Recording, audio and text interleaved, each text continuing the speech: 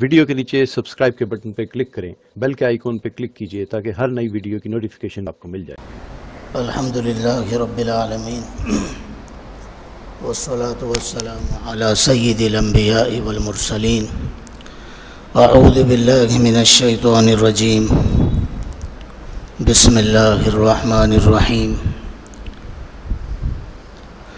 अमन हुआ कानितुन आना अल-लैलि साजिदन व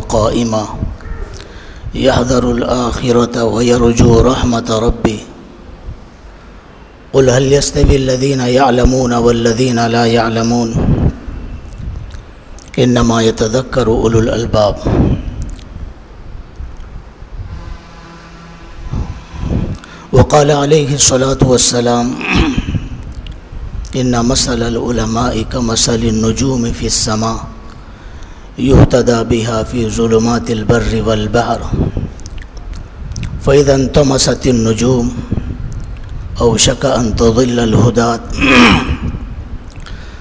औ कमा क़ाल नबी सल्लल्लाहु अलैहि वसल्लम मुअज़्ज़ज़ उलमाए किराम हुफ़ाज़ इज़ाम अइम्मा किराम आप इस बात से बखूबी वाकिफ़ हैं कि हज़रत मौलाना इलियास साहब रहमत ने जब इस काम को शुरू किया तो रोज़ अव्वल से हज़रत का मकसद और नीयत ये थी कि हज़रत इस काम की सरपरस्ती करें, निगरानी करें अमली तौर पर इसमें शिरकत करें आवाम की असलाह करें। हज़रत की ये ख्वाहिश थी। चुनानचे हज़रत ने हज़रत कराम को मुतवजह किया। उनकी खिदमत में हाजिर होकर अपनी कारगुजारी सुनाई। और उनसे दुआएँ ली। और हज़रत की ये मंशा थी कि हर जमात में एक आलिम दीन हो। एक कारी कुरान हो। तो इसलिए मुख्तलिफ़ मुल्कों में, इलाक़ों में, सूबों में छोटे बड़े इज्तमात होते हैं। तो उन इज्तमात के मौके पर जहाँ बहुत सारी नशस्तें होती हैं, वहीं ख़ास तौर से एक नशस्त तय होती है हज़रत कराम की खिदमत में। कारगुजारी रखी जाए, तकादे रखे जाएँ, कारगुजारी सुनाई जाए, दुआओं की दरख्वास्त की जाए, सरपरस्ती हासिल की जाए। माशाल्लाह, यहाँ जोड़ तय हुआ। आवाज़ लगाई गई, दावत दी गई। आप हजरात बहुत दूर दूर से अपनी दीनी खिदमात को आगे पीछे करके अपनी ज़रूरतों को दबा कर यहाँ तशरीफ़ लाए हैं। यहाँ कोई लंबी बात, तकरीर, वाज और ख़िताबत मकसूद नहीं है। कारगुजारी सुनाना है। बुज़ुर्गों से जो बातें सुनी गई हैं, वो बातें आप हजरात के सामने रखना है। बुज़ुर्गों ने ये बात बतलाई कि अल्लाह पाक ने लाखों और करोड़ों बच्चों में से हमें चुना। जिन इलाक़ों से हमारा ताल्लुक़ है, उन इलाक़ों में हम अकेले नहीं थे, बल्कि लाखों और करोड़ों लोग थे, बच्चे थे। अल्लाह पाक ने वालदेन के दिलों में बात डाली। इल्म की अज़मत उनके दिलों में अल्लाह पाक ने पैदा की और उन्होंने हमें मुख्तलिफ़ मदारस में दाखिला दिलवाया। तो ये कोई इत्तेफाकी बात नहीं थी कि लोग मदारस में जा रहे थे, तलबा हम भी चले गए। बल्कि बुज़ुर्गों ने फरमाया कि ये एक अल्लाह पाक का इंतखब था। अल्लाह पाक ने हमें मंतखब किया, चुना मुख्तलिफ़ ख़ानदानों से, मुख्तलिफ़ इलाक़ों से। फिर मदारस की चार दीवारियों में दस साल, पंद्रह साल रहकर हमने बहुत सारे ूम और फ़नून हासिल किए। इस दौरान बड़े बड़े मुजाहदे हमने किए। आज से 25 साल पहले मदारिस में जो गुर्बत थी, जो हाल था, पुराने लोग जानते हैं। अब तो माशाल्लाह सहूलतें हो गई हैं। तो मदारिस की चार दीवारियों में रहकर मुजाहदे किए, फ़क्र फाक़े को बर्दाश्त किया। तालीम के दौरान एक से जायद मरतबा ऐसा हुआ कि रुकावटें आईं और यकीन हो गया था कि अब तालीमी सिलसिला ख़त्म हो जाएगा।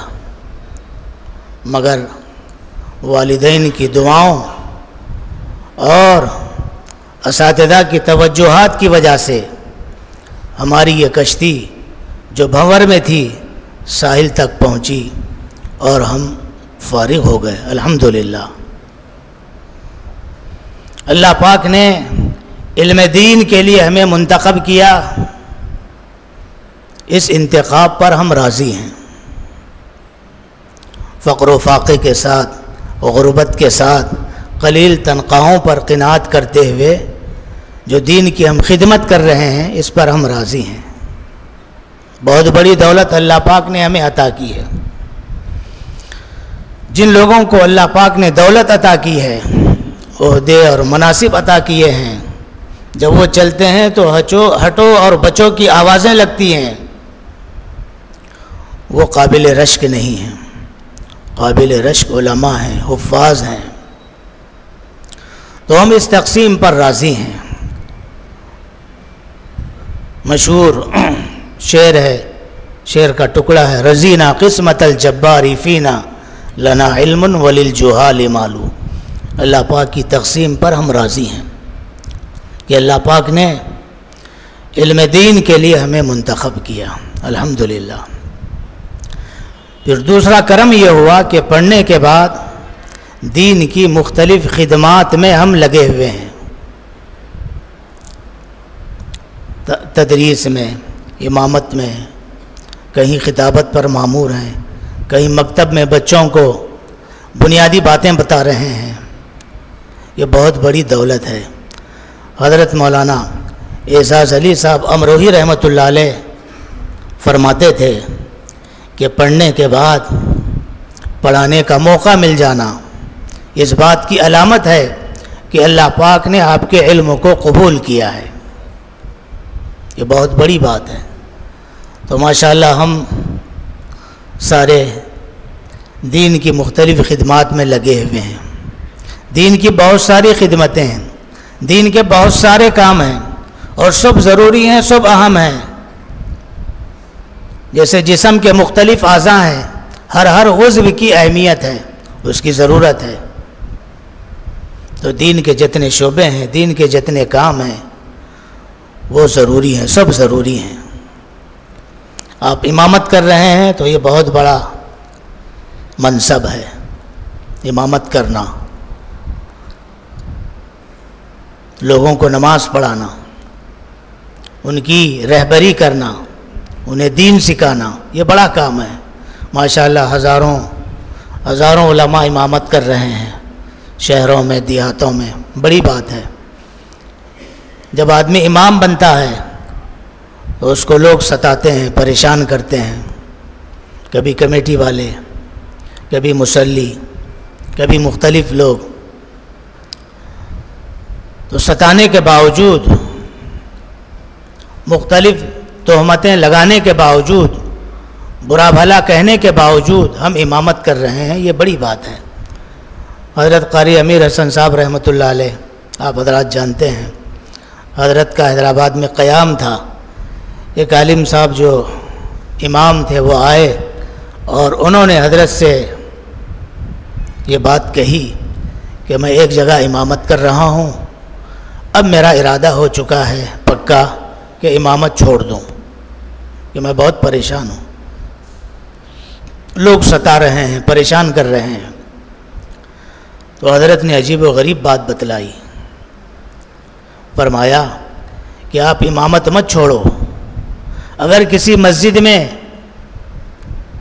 पैसे खर्च करने के बाद, हज़ार, दस हज़ार रुपये देने के बाद आपको इमामत मिल सकती है तो आप पैसे खर्च करके इमाम बन जाइए। इसलिए कि इमामत के बहाने पाँचों नमाज़ों को मस्जिद में जमात के साथ पढ़ाने की तौफीक मिल जाती है। हज़रत मौलाना अब्दुल कबीर साहब दामद बरकत हम फरमा रहे थे एक मौके पर कि आज के ज़माने में वली वो है जो फजर की नमाज़ जमात के साथ पढ़ ले। बुज़ुर्ग वो है जो फजर की नमाज़ जमात के साथ पढ़ ले। तो इमामत के बहाने पाँचों नमाज़ों के अहतमाम की तोफ़ी मिल जाती है। इमामत है, खिताबत भी ज़रूरी है। लोग तैयारी के साथ आते हैं। कि दीन की बात सुनने का हमको मौका मिलेगा, गौर से सुनते हैं। तो हज़रत मौलाना अहमद साहब खानपुरी दामद बरकत हम फ़कील उम्मत के बड़े खलीफा हैं, वो एक जगह फरमाते हैं। उन्होंने लिखा कि ये जो जुमा की खिताबत होती है, उसमें चंद बातों का ख्याल रखा जाए।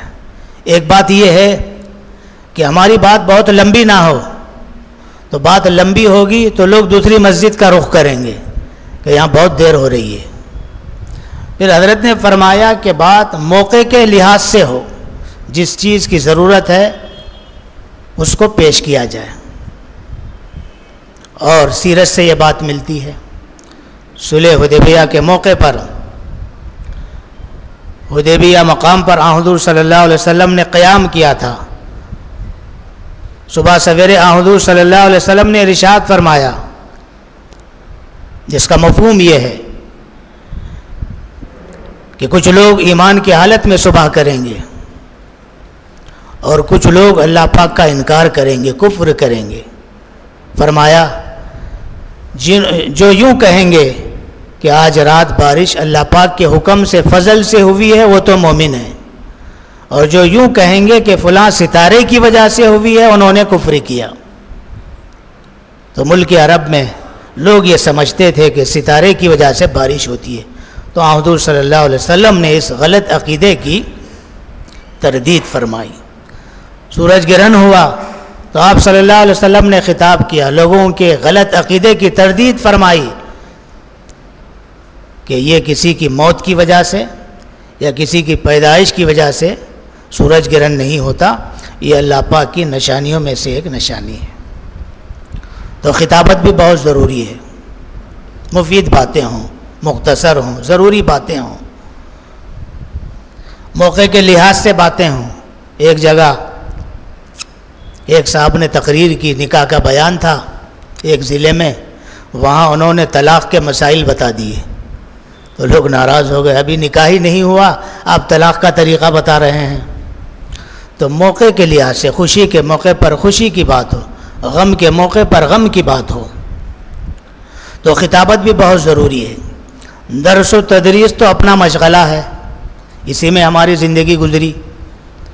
हज़रत मौलाना यूसुफ साहब रहमत फरमाते थे कि उलमा का ये काम है कि वो उलमा को तैयार करें। कि बाद में वो हमारी नियाबत करें। बहुत ज़रूरी है।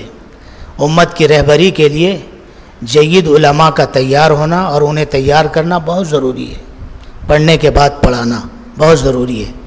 मदारस का वजूद, ये अल्लाह पाक की रहमत है। मदारस की अहमियत का कोई इनकार नहीं कर सकता। मगर एक आवाज़ लोग लगा रहे हैं कि मदारस बहुत ज़्यादा हो चुके हैं, अब ज़रूरत नहीं है। आप हजरात जानते हैं। दुश्मनों की एक आवाज़ है और मदारस को बदनाम किया जा रहा है। ये एक ज़रिए माश है, अपनी ज़रूरतों को पूरा करने के लिए मदरसा खोला जाए। तो तोहमत लगाते हैं कि नाजिम साहब ने खुर्द बुर्द की और चंदे में उन्होंने धांधली की। हम कुछ भी करेंगे तो लोग इल्ज़ाम रखेंगे। पैदल चलेंगे तो कहेंगे, पता नहीं पैदल क्यों चल रहे हैं? टू व्हीलर पर जा रहे थे। जी। तो उस इल्ज़ाम लगाते हैं कि पता नहीं कहाँ से आ गई गाड़ी ये। और बड़ी कार में आप, आपको हदिये में मिली कार और उसमें आप जा रहे हैं सर्दी और गर्मी से बचने के लिए तो कहा जाएगा, देखिए, इस साल बहुत ज़्यादा चंदा हुआ। तो लोग तो कहते ही हैं, जितनी ज़ुबानें हैं, उतनी बातें हैं। तो हमारा अल्लाह के साथ मामला है। तो मदारिस बहुत कम हैं, ज़्यादा नहीं हैं, बहुत कम हैं। करनोल में कितने स्कूल हैं आप गिनिए? सैकड़ों हैं गली गली मदरसे बहुत कम हैं, स्कूलों के और कॉलेजों के मुकाबले में। तो मदारिस को बढ़ाने की और मदारिस की हिफाजत की ज़रूरत है। बका भी ज़रूरी है, हिफाजत भी ज़रूरी है। और ये हमारे मदारिस उसी वक्त महफूज रहेंगे जब हम अकाबिर के तय करदा उसूलों पर पूरी पाबंदी के साथ जमे रहेंगे। जिन लोगों ने हुकूमत की इमदाद को कबूल किया, यूपी के बाद इलाक़ों में, बिहार के बाद, बंगाल के इलाक़ों में, वो मदरसे स्कूल बन गए। वज़ाक़ता ख़त्म हो गई, इस्लामी वज़ाक़ता उठ गई। और ऐसा लग रहा है जैसा कि ये कोई बड़ी कॉलेज है, बड़ा स्कूल है। तो अकाबिर ने जो असूल तय किए हैं, वो बहुत अहम हैं। तो मदारस की बहुत ज़रूरत है। और मकातब कुरानिया, माशाल्लाह दारुल देवबंद में जो रबते मदारस का जोड़ होता है, उसमें ये बात बहुत पहले तय हुई थी कि मदरसे वाले अपनी जो आमदनी है, उसका दस फ़ीसद हिस्सा मकातब के लिए वफ़ कर दें। उस पर लगाएँ, मकातिब के लिए। तो माशाल्लाह, मदरसे वाले भी और मुख्तलिफ़ तंजीमें, सैकड़ों मकातिब चला रही हैं। थोड़े से वक्त में मुसलमानों के बच्चे दीन की बुनियादी बातों से वाकिफ़ हो रहे हैं। बहुत ज़रूरी है। मकातिब की अहमियत पर बाकायदा किताबें हैं। हज़रत नदवी रहमत फरमाते हैं कि अपने बच्चे, बच्चों को ईद के कपड़े बनाने से सैकड़ों बार ज़्यादा बीमार होने पर इलाज करने से हज़ारों बार ज़्यादा और उन्हें बेहतर से बेहतर नौकरी दिलाने से लाखों बार ज़्यादा। ज़रूरी है कि हम उन्हें पक्का और सच्चा मुसलमान बनाएँ। मौलाना इलिया साहब रहमत ने जब मेवात में काम शुरू किया तो पहले गश शुरू नहीं हुई, पहले मकतब कायम किया गया, मदारस कायम किए गए। और मकातब और मदारस के लिए उलमा को और मुदरसिन को तय किया गया। फिर उसके बाद जब उन्होंने देखा कि मकातब और मदारस में सिर्फ़ तलब वाले आ रहे हैं, वो चंद हैं, जिन्हें उंगलियों पर गिना जा सकता है। और बेतलब तो लाखों हैं, तकरीबन 40 लाख लोग वहाँ आबाद थे मेवात में। तो हज़रत किताबों में लिखा हुआ है कि एक मौके पर हज़रत पहुँचे। तो गाँव वालों ने कहा कि ये हाफिज़ साहब हैं। एक नौजवान को हज़रत के सामने बिठाया गया कि ये हाफिज़ साहब हैं, इनकी दस्तारबंदी कीजिए, मुबारकबादी दीजिए। तो हज़रत ने देखा कि दाढ़ी कटी हुई है, मूँछें बड़ी बड़ी हैं, वज़ाक़ता गैर इस्लामी है। तो हज़रत को बहुत दुख हुआ। तो हज़रत ने तय किया कि ये माहौल का असर है। ये बच्चा मदरसे में पढ़ा, मकतब में पढ़ा, मगर घर में पहुंचकर, घर में जाकर माँ बाप का ये तासुर ले रहा है, माहौल का असर ले रहा है। इसलिए ज़रूरी है कि माँ बाप को भी दीनदार बनाया जाए। तो मकातिब की बड़ी अहमियत है, मदारस की बड़ी अहमियत है, खिताबत की बड़ी अहमियत है, इमामत की बड़ी अहमियत है। ये सारे कामों के साथ साथ ये काम भी हमें करना है। दावत तबलीग का। इसलिए कि इस काम को शुरू करने वाले उलमा हैं, सरपरस्ती करने वाले उलमा हैं। जिन जिन इलाक़ों में उलमा ने सरपरस्ती की, वहाँ काम खूब फैला, खूब बढ़ा। हज़रत मौलाना हबीबुल्ला साहब कासमी रहमत करनूल के ज़िम्मेदार थे, आप हजरात जानते हैं। हैदराबाद से जब जमातें यहाँ आती थीं, इब्तदाई दौर में तो जब जमात वापस जाती थी तो लोगों को, साथियों को यहाँ के दूसरे लोग कहते थे कि वो लोग गलत हैं। ये जमात गलत है, गलत जमात है ये। ये गलत तहरीक है, इनके अकाई ठीक नहीं है। तो हज़रत उन्हें पकड़ पकड़ कर, बुला बुला कर, बिठा बिठा कर समझाते थे। एक ज़माने तक ऐसा होता रहा। तो यहाँ काम माशाल्लाह हिकमत के साथ हुआ। उसका नतीजा ये है कि तकरीबन मसाजिद में माशाल्लाह ये काम हो रहा है, हिकमत से ये काम हुआ। उलमा ने दिफा भी किया इस काम का और बाकायदा किताबें तैयार हो गई। वज़ाइल अमाल पर एतराज़ात किए गए तो उसके जवाब तैयार हो गए। काम के उसूल, उसूलों पर एतराज़ात किए गए तो जवाब दिए गए। तो उलमा ने तायद भी की, दिफा भी किया, सरपरस्ती भी की। तो ये माशाल्लाह, ये काम है, बहुत अहम है। इसकी बहुत ज़रूरत है। आने वालों को पढ़ाना, ये तालीम है। और जाकर समझाना दीन की मोटी मोटी बातें बताना, ये तबलीग है, ये भी हमारा काम है, इसकी बहुत ज़रूरत है। हज़रत मौलाना अलिया साहब रहमत ने 1925 या 26 में इस काम को शुरू किया तो उस वक्त मदारस भी थे, बड़ी बड़ी खानखाएँ भी थीं। और दारुल देवबंद उस ज़माने में, यानी चपरासी से लेकर, दरबान से लेकर मोहतम तक सब साहिब नस्बत बुज़ुर्ग हुआ करते थे। आप हजरात बोलते हैं, लिखा हुआ है। तो मदारिस भी थे अहलुल्ला भी थे, खानखाएँ भी थीं। उसके बावजूद हज़रत ने देखा कि ये नाकाफ़ी हैं। बेतलब लोग बहुत हैं, उन तक पहुँचना ज़रूरी है। हज़रत ने इस काम को शुरू किया, उलमा की तायद हासिल की। हज़रत हरदोई रहमत लिखते हैं, फरमाते हैं कि जो लोग इस काम में जुड़े हुए हैं उन्हें अल्लाह पाक का शुक्र अदा करना चाहिए इस बात पर कि इस काम के बानी और इस काम को शुरू करने वाले एक मदरसे के पढ़े हुए हैं और बुज़ुर्गों के सोहबत याफ्ता हैं। अगर उनका इल्म कम होता और वो बुज़ुर्गों की सोहबत ना उठाते तो ये तहरीक चलती और चंद दिनों में, चंद सालों में ख़त्म हो जाती। तो बड़ी बेदारी के साथ, बड़ी होशियारी के साथ इस काम पर आँच ना आए, ये महफूज रहे, इसलिए उसूल तय किए गए, अजीब व गरीब। जितने चोर रास्ते हो सकते हैं, चोर दरवाजे हो सकते हैं, सबको बंद किया गया। सुबह से लेकर शाम तक जितने काम होते हैं, जमात के सब मशवरे से होते हैं, कि ये काम मशवरे से हो। और जमात जाए तो एक साथ जाए, मिलकर जाएँ, अमीर की इमारत में जाएँ तो माशाल्लाह उसका बड़ा फ़ायदा है। तो अमीर की इमारत में जाएँगे और अल्लाह के घर में ठहरेंगे और अपनी जान और अपना माल लगाएँगे। इस दौरान कोई सियासी बात नहीं होगी और ना कोई इख्तलाफी बात होगी और ना कोई हुक्म होगा। अमीर साहब कोई हुक्म नहीं करेंगे, राय लेकर तय करते हैं। सबकी राय ली जाती है। मशवरे से पहले मशवरे के आदाब बयान किए जाते हैं।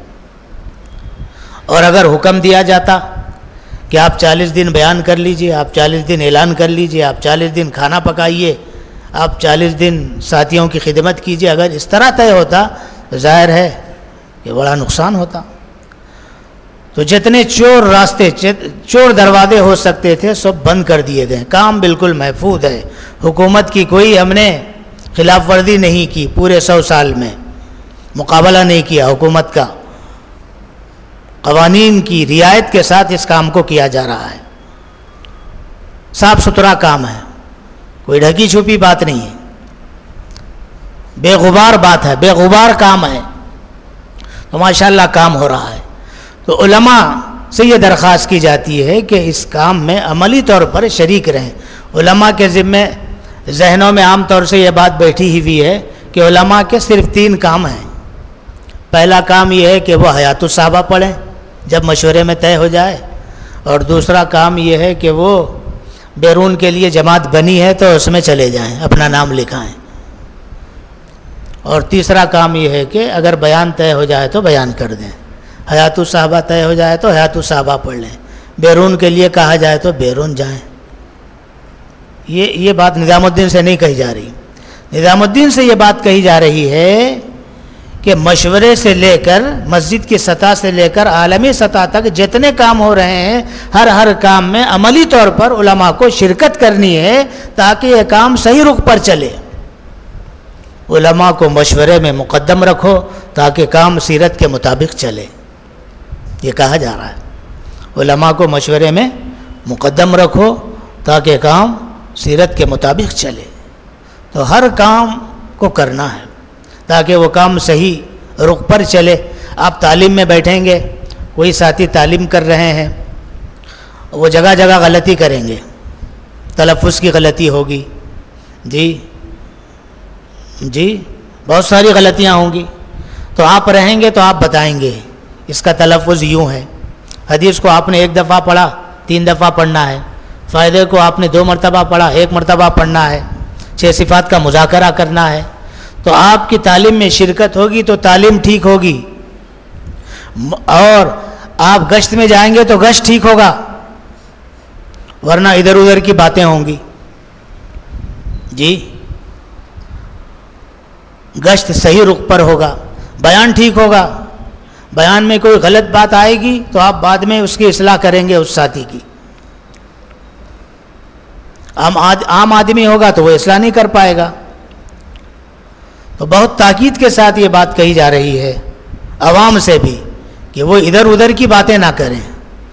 कोई हाथ पकड़ कर पूछ ले तो बता सकें कि ये फ़लाँ किताब में है, मंतखब में है, सदक़ात में है, फ़जाइल अमाल में है हयातुलसाहबा में है, और किसी किताब में है, बता सकें। तो आप बयान में रहेंगे तो बयान ठीक होगा। तालीम में रहेंगे तो तालीम ठीक होगी। गश में चलेंगे गश ठीक होगा। चिल्ले में चलेंगे, टूटने वाली जमातें, जी टूटने वाली जमातें रुक जाएँगी। बहुत सारी कारगुजारियाँ हैं कि आलिम साहब जमात में हैं, साथियों ने झगड़ा किया तो फिर आलिम साहब ने उनकी जहनसाजी की। और जो लोग इरादा किए थे वापस जाने का, वो लोग जम गए। मुल्कों में ऐसा हुआ। इसलिए कि आवाम को संभाल संभालने की जो सिफत है, वो हमारे अंदर मौजूद है। पढ़ाते हुए, पढ़ते हुए हमने देखा है, किस तरह निभाना चाहिए लोगों को। किस तरह संभालना चाहिए आवाम को, इससे आप वाकिफ़ हैं। तो टूटने वाली जमातें जम जाती हैं। और जब हम चलते हैं, खरूज करते हैं लोगों के साथ तो इसका एक अहम फ़ायदा ये होता है कि हालात को देखने के बाद दिल के अंदर उम्मत का गम पैदा होता है। लई सल खबरू कल मुआजना अखबार में हम पढ़ते हैं, इतने लोग गिर गए, इतने लोग मर गए, और फुला जगह सैलाब आया, इतने लोग बह गए। पढ़ते हैं तो थोड़ा सा असर होता है। और अगर उस नदी के किनारे हम हों और हमारे सामने सैलाब आया और लोग बह गए तो उसका ज़्यादा असर होगा। हम खड़े थे, एक आदमी हादसे का शिकार हो गया, ट्रक के नीचे आ गया तो हमको ज़्यादा गम होगा। हम ठहरे ठहरे थे, एक बिल्डिंग गिरी, लोग दब गए। इसका हमको ज़्यादा असर होगा। तो देखने का असर ज़्यादा होता है, सुनने का असर कम होता है। तो इलाक़ों में चलते हैं। हालात को देखते हैं तो अजीब व गरीब हालात सामने आते हैं। मुफ्ती शुएबुल्ला साहब, दामद बरकत हम लिखते हैं कि हमारी जमात गई तलबा की एक इलाके में। तो वहाँ पता चला, लोगों ने कहा कहा कि यहाँ हमारे इस गाँव में कुत्ते की फातिहा होती है। कुत्ते की फातिहा। तो इन्होंने पूछा कि वो किस तरह होती है? तो बताया गया कि एक कुत्ते को हम लाते हैं और मस्जिद में लाते हैं और मिंबर पर बिठाते हैं। ये लिखी हुई बात है। मिंबर पर बिठाते हैं और उसके गले में एक हार डालते हैं। जो कुछ पकाकर हम लाते हैं, वो उसको खिलाते हैं और बचने के बाद बतौर तबर्रुक के हम खाते हैं। मुफ्ती साहब लिख रहे हैं, लिखा हुआ है, हवाला है मेरे पास, मौजूद है। कुत्ते की फातिहा हो रही है। ये अहवाल हैं उम्मत के। और महबूब नगर के अमीर साहब रईस भाई एक मुल्क में गए। वो सुना रहे थे मल्लेपल्ली में कारगुजारी। एक मुल्क में गए। वहाँ हमने देखा कि एक साथी नमाज़ में आए। वॉकिंग कर रहे थे। नमाज़ का वक्त हो गया। मस्जिद में आ गए। तो वो भी आए और उनके घर का कुत्ता भी साथ आ गया मस्जिद में, सफ में। तो कुत्ते को मस्जिद में लाना कोई ऐप की बात नहीं थी वहाँ पर। वॉकिंग में साथ था, वो भी आ गया। मस्जिद में बैठा हुआ है कुत्ता। अजीब गरीब बात। फिर दूसरी अहम बात यह हुई, खतरनाक, कि फ़ोन आया तो वो आदमी नमाज़ में ही कह रहा है कि मैं मस्जिद में हूँ, नमाज़ में हूँ बाद में बात करूँगा, नमाज़ पूरी करने के बाद। ये है, ये अहवाल हैं। और एक जमात गई थी, सरूर नगर, हैदराबाद में एक हल्का है, वहाँ से जमात गई थी, अफ्रीका के एक मुल्क में। उन्होंने तीन बातें बतलाई, अजीब व गरीब। पहली बात यह थी कि उस मुल्क में बास मस्जिदों का रुख किबले से हटा हुआ है, बहुत पहले बनाई गई थी, सैकड़ों साल पहले। लोग उसी पर जमे हुए हैं, कह रहे हैं कि नहीं, ये पुरानी मस्जिद है, हमारे आबा व अजदाद ने इसको बनाया है, अब इसका रुख हम ठीक नहीं करेंगे। जहलत है। दूसरी ख़तरनाक बात यह थी कि वहाँ हमने इमाम साहब को देखा, उन्होंने नमाज़ पढ़ाई और उनका आधा घुटना खुला हुआ था। घुटना। खुला हुआ है। नमाज़ पढ़ा रहे हैं इमाम साहब। तीसरी ख़तरनाक बात हमने वहाँ ये देखी कि पूरे मुल्क में निकाह और शादी का मतलब ये है कि लड़का और लड़की दोनों राज़ी हो जाएँ। बस आपसी रजामंदी का मतलब निकाह है। ईजाब कबूल की ज़रूरत नहीं, दो गवाहों की ज़रूरत नहीं, खुतबे की ज़रूरत नहीं, कोई कोई किसी चीज़ की ज़रूरत नहीं। तो हमने कहा कि ये तो जिना है। जिना की मजम्मत हमने बयान की तो जुमा के बाद सैकड़ों लोग बैठे हुए थे। उनसे हमने पूछा कि आप लोग नमाज़ हो चुकी? फिर क्यों बैठे हो? उन्होंने कहा कि अब तक हम जिना में थे, जिना कर रहे थे। हम समझ रहे थे कि ये निकाह है। आप हमारा सही निकाह पढ़ाइए। इजाब कबूल करवाइए। दो दो गवाहों की मौजूदगी में। तो हालात तो अजीब व गरीब हैं पूरी दुनिया में। तो ज़रूरत है कि इस काम में अमली तौर पर शिरकत करें और चलें।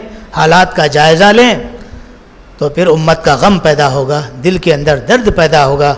हज़रत मौलाना इलिया साहब रहमत फरमाते हैं, उस आदमी की मौत बदतरीन मौत है, जिसके दिल में उम्मत का दर्द ना हो, दीन के मिटने का दर्द ना हो, उसकी मौत बदतरीन मौत है। तो माशाल्लाह, हज़रत फ़िक्रों में हैं, दुआओं में हैं, दीनी खिदमात में लगे हुए हैं, ये सारी खिदमात बहुत ज़रूरी हैं। आप काबिल मुबारकबाद हैं। माशाल्लाह, ये सारे काम कर रहे हैं।